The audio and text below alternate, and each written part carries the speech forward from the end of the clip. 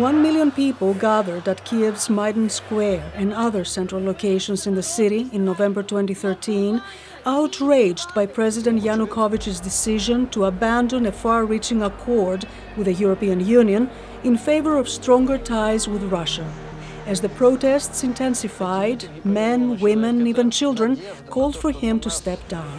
Президент Янукович підписав контракт з Росією, тим самим ще більше віддаливши Україну від вступу до Європейського Союзу. Проти Януковича. Він не дуже хороший дядько. А? А як він збивав жінку на моїх глазах, йому Беркут.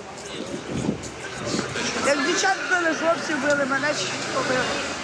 The peaceful rally turned violent when Yanukovych's special police forces, called the Berkut, descended on unarmed civilians.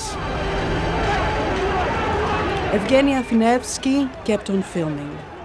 At that particular moment, none of us was thinking about danger. All of us were thinking how to document every second and kind of preserve this history.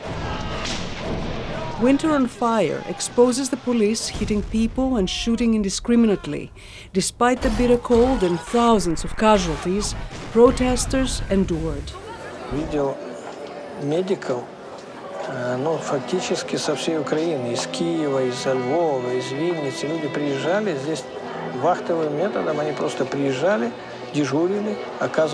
Afineevsky says he would not have been able to film these unraveling events without the help of social media and multimedia.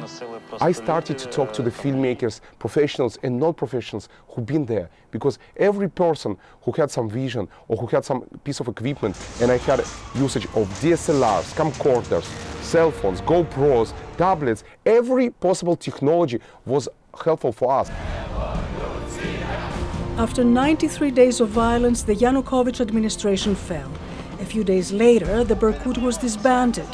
The Ukrainian parliament cancelled anti protest operations, restored the 2004 constitution, and freed political detainees.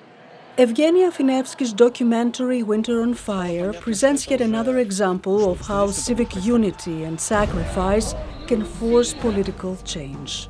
Penelope Poulou, VOA News, Washington.